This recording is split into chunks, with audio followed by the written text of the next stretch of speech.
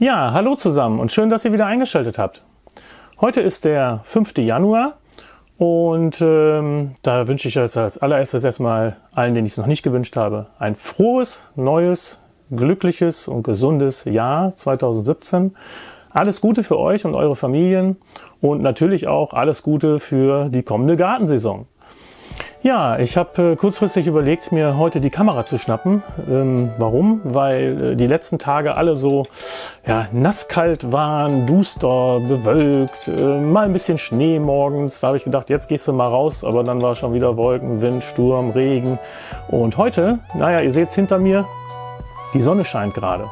Ich weiß nicht, wie lange es bleiben wird. Es ist zwar saukalt, ich glaube so 3, 4 Grad minus. Ich werde doch gleich mal kurz rausgehen denn äh, das heutige Video wollte ich dazu nutzen, dass wir die Physalis mal eben gemeinsam abklappern. Ähm, Teil 1 und Teil 2, wer ihn nicht gesehen hat, verlinke ich euch unten. Und es sind jetzt, glaube ich, ungefähr vier Wochen vergangen, seitdem wir das letzte Mal an den Physalis-Pflanzen vorbeigegangen sind. Und deswegen fange ich heute mal hier oben am Dachboden an. Im Hintergrund seht ihr ja schon meine Pflanze, die hier oben ja in der Sonne steht. Ähm, die gieße ich jetzt mal eben. Und ähm, ja, begutachten wir sie mal, dann gucken wir uns die im Keller an, dann die beiden, äh, die draußen geblieben sind und die im Gewächshaus. Und ja, ich mache mal eben ein bisschen Wasser dran und schauen wir die Pflanzen mal an. Also Erde ist trocken, kein Wunder. Drei Wochen habe ich nicht gegossen. Ich habe keine Ahnung, ob das für die Pflanze gut ist oder nicht. Wie gesagt, ist ja auch nur ein Versuch. Aber ich weiß nicht, ob ihr euch erinnern könnt, bei dem letzten Video, da haben wir so eine, ich hole euch mal hier rüber, da haben wir so eine kleine Pflanze da drin gesehen, was ich nicht wusste, was es ist. Ich zeige sie euch mal, ich versuche mal, ob das da scharf geht. So, da haben wir eine, könnt ihr das erkennen. Die ist gewachsen und da hinten ist auf jeden Fall, würde ich sagen, irgendein Unkraut gewachsen. Ja, also Wasser scheint genug in dem Topf drin zu sein. Ähm, vielleicht reicht es auch für das Wurzelwerk der Physalis-Pflanze. Ja, wo wir gerade hier oben sind, können wir eigentlich äh, den Blick nutzen und äh, ich zeige euch mal den Garten hier oben aus dem Fenster. Ich mache mal eben kurz ein bisschen Platz, damit wir das Fenster aufbekommen. So. Ich glaube, von hier oben haben wir auch noch nie einen Blick gehabt, ne? Vielleicht mal in einem Video. Also ich versuche euch das mal so ein bisschen zu zeigen. Also hier links, auf der linken Seite, seht ihr meine Spalierobstbäume. Natürlich kahl zu dieser Jahreszeit. Dahinter die Kartoffeltonnen. In der zweiten ist noch ein bisschen Palmkohl drin. Dann seht ihr dahinter meine Regenfässer. Da habe ich ja mal ein Video drüber gemacht, äh, wie wir das Regenwasser hier bei uns im Garten nutzen. Das verlinke ich euch auch mal unten. Ja, und hinter den Regenfässern kommen dann die beiden Hochbeete. Da ist zurzeit nichts mehr drin. Ein bisschen Palmkohl seht ihr noch da. Ja, im Hinteren seht ihr ein paar Salatblätter und sowas, die schmeiße ich hin und wieder mal einfach so rein. Ähm, wenn die Regenwürmer holen sich das oder die Vögel gehen da auch hin und wieder mal hin und ähm, ja, das können die sich da holen. Dann kommen die Beerenbeete, das ist auch alles kahl. Dann seht ihr das Gewächshaus, weiß überfroren. Ja, und dann kommen da hinten rechts ja die ähm, Komposthaufen, Ecke und vor den Kompasshaufen seht ihr den umgedrehten Eimer. Da haben wir die andere Physalis-Pflanze drunter. Da gehen wir gleich hin. Ja, ein bisschen weiter nach rechts. Jetzt blendet es leider in der Sonne. Was heißt leider? Ich bin froh, dass sie da ist. Da ist so ein bisschen die Sitzecke, Picknickbank und dann kommen ja da rechts um die Ecke die Wasserteiche.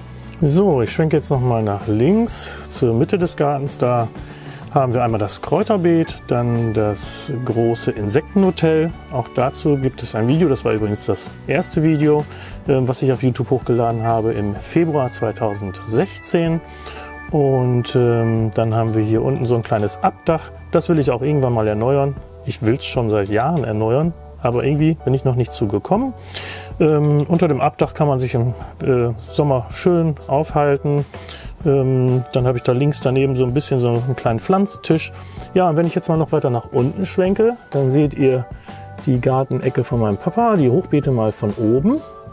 Das ist so die gesamte Ecke. Ähm, das ist so, ja, wie so ein kleiner Kriegsgraben aufgebaut.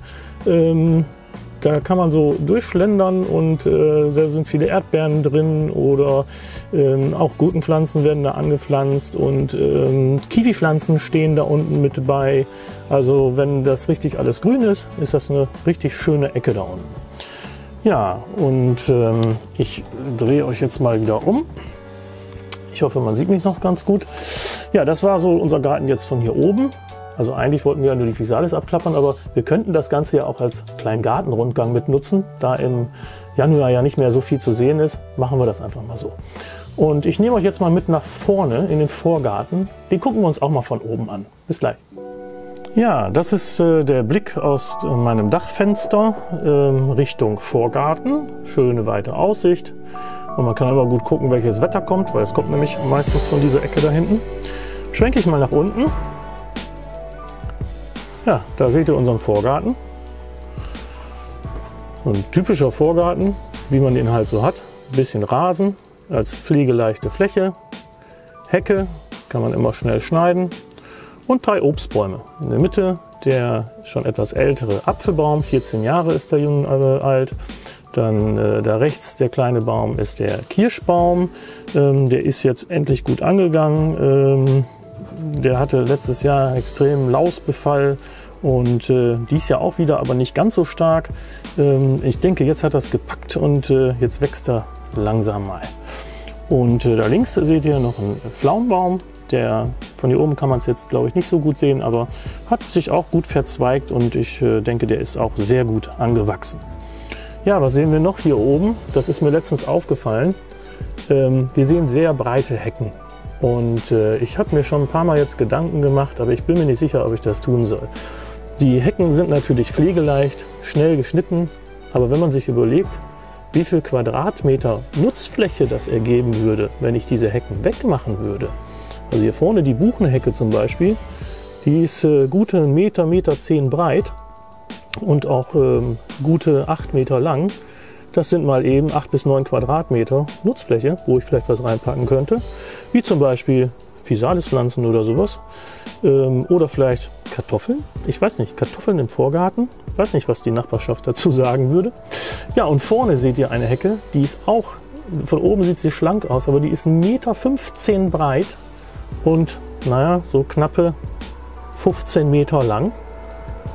Das ist auch nochmal, was haben wir da? 20 Quadrat. Wenn man sich das überlegt, was man da noch alles anpflanzen könnte. Auch habe ich schon überlegt, meine Kartoffeltonnen vorne in den Vorgarten zu stellen. Wäre vielleicht gar nicht so schlecht, optisch. Oder? Was meint ihr dazu? Was wären eure Gedanken, wenn ihr so einen Vorgarten hättet? Ich würde mich über ein paar Kommentare von euch freuen. Ja, so, dann schwenke ich mal wieder hoch. Kurz noch die schöne Aussicht genießen. Kein Wölkchen am Himmel. Herrlich. Und so klare Luft heute. Ja, genug geträumt. Ich schalte euch jetzt ab und wir sehen uns gleich im Garten wieder. So, da bin ich wieder. Ich habe mir eben was Warmes angezogen. Es ist nämlich saukalt draußen. 3 Grad minus haben wir jetzt. Und es fühlt sich aber an wie 6, 7 Grad minus. Also richtig trockene Kälte. Und wir sind hier im Gewächshaus. Und ich zeige euch mal die Physalis-Lanze, die hier im Gewächshaus steht. Im Gewächshaus ist es jetzt zur Zeit, Moment, ich schaue mal eben zum Thermometer auch 3 Grad minus. Also da tut sich nichts. Trotz 16 mm Doppelstickplatten natürlich keine Heizung und sowas an. Also hier drin ist die Erde feucht. Das liegt wahrscheinlich an dem äh, Wetter so. Dann haben wir hier auch feucht, also fühlt sich feucht an. Aber ganz ehrlich, das Ding sieht irgendwie tot aus. Ich weiß es nicht.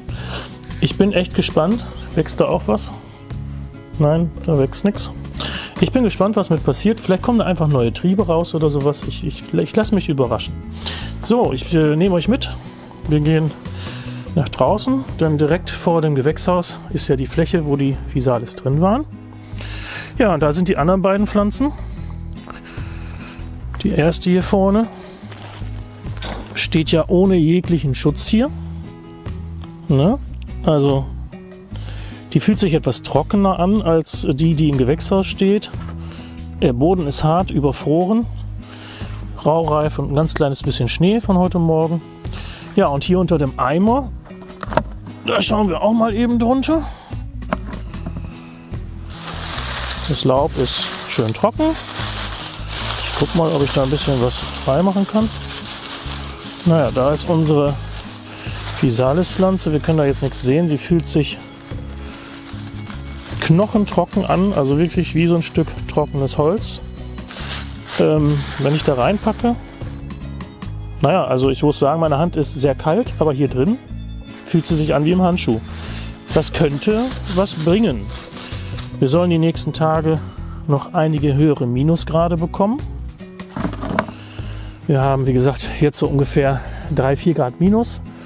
Und die nächsten Tage sollen so 7, 8 Grad minus werden. Und ich bin mal gespannt, äh, also was hier mit diesen Pflanzen passieren wird. Ich lasse mich überraschen. Zusätzlich haben wir jetzt Januar. Das ist die Zeit, wo ich dann auch schon das Saatgut für die neuen Physalis-Pflanzen aussehen werde. Alleine schon aus Sicherheit, weil ich nicht weiß, was mit den fünf passieren wird. Und äh, weil ich vorne im Vorgarten wahrscheinlich doch irgendwo noch eine kleine Ecke machen werde, wo ich mir auch noch Physalis hinstelle. Ja, das war es dann erstmal äh, für heute mit diesem Video, mit ähm, eigentlich Teil 3, wie geht es den Physalis-Pflanzen und den zusätzlichen kleinen Gartenrundgang Januar nenne ich es mal. Und äh, viel verpasst habt ihr ja nicht im Garten. Erntezeit war bei mir nicht mehr. Und äh, ich sage ciao und bis zum nächsten Video. Schönen Dank fürs Einschalten. Macht's gut. Menschenskinder, da bin ich nochmal. Ich habe doch glatt vergessen, im Keller steht doch auch noch eine Physalis-Pflanze. Ja, die habe ich total verdaddelt, weil die nämlich so weit in der Ecke geschoben wurde. Ich habe den Keller nämlich renoviert. Ich bin gerade die Räume einen nach dem anderen am Renovieren. Und äh, die sollte ja ganz dunkel stehen. Und deswegen hatte ich die nämlich umgesetzt in noch einen kleineren Raum. Äh, das ist ein kleines ja, Gäste-WC, kann man das nennen. Da ist es stockduster, äh, sehr kühl und äh, ja, da hatte ich die reingestellt und ganz vergessen. Ich habe sie jetzt mal rausgeholt, weil sonst würden wir sie gar nicht sehen im Dunkeln. Und ich zeige sie euch mal hier unten. Also, da steht sie. Ich habe sie auch gerade schon gegossen mit äh, ein klein wenig Wasser, nicht viel, vielleicht so 300 Milliliter. Erde ist dadurch jetzt ein bisschen feucht. Die Erde war grundsätzlich sehr trocken. Ja, die fühlt sich genauso an wie die anderen auch, also relativ trocken, also mehr so wie die, die wie im Laub ist. Nichts drin gewachsen, kann ja auch nicht. Stockduster der Raum. Auch da, ich lasse mich überraschen. Mal sehen, was passiert. Und äh, wir werden sehen. Nun aber endgültig. Ciao, macht's gut, schönen Tag euch noch.